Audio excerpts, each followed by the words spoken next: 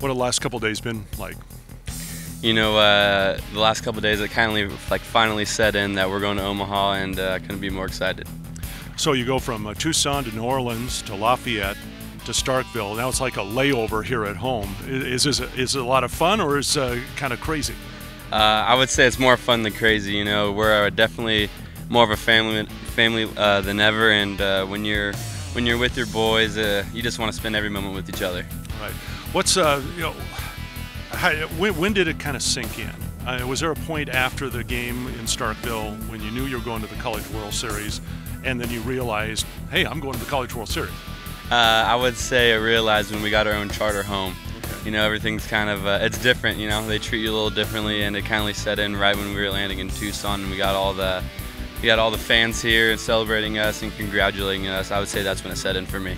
So, how do you characterize this team? Because there have been so many different facets of it, from the experience to the new guys to you know the improvement in, in all areas to the character. Is there anything that you can label this team as?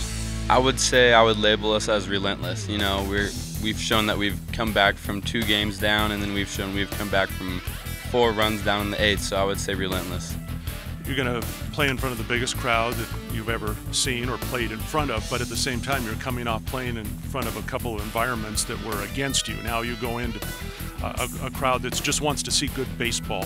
Did, did, the preparation to the games in Lafayette and Starkville, you think, help prepare the team for what they'll see in Omaha? Oh, most definitely, I would say, because. Uh, Lafayette and Starkville, they kind of had a home field advantage. And then when you go to Omaha, it's pretty much a neutral site. They just want to see good baseball. So I would say that, yeah, we were definitely more prepared than ever since we came from Starkville and Lafayette, yes. This team has collected 27 extra base hits uh, in postseason play. And it's not that you guys weren't hitting doubles and triples and home runs before that, but it just seems like that, that, that part of the game has risen. What has brought that about? Um, you know, I just think that we've just been sticking to our approach and we've just been putting the bat on the ball and those extra those extra base knocks, they just come in. Uh, we don't really try to do too much with it. It's just we're just doing what we're supposed to do, and I just feel like the extra dis, extra base hits they just come. One thing that certainly stood out in Lafayette and Starkville was the fact that you guys, I, I hate using this word loose, but having fun, obviously enjoying yourselves at the same time playing good baseball. How do you put those things, those two together?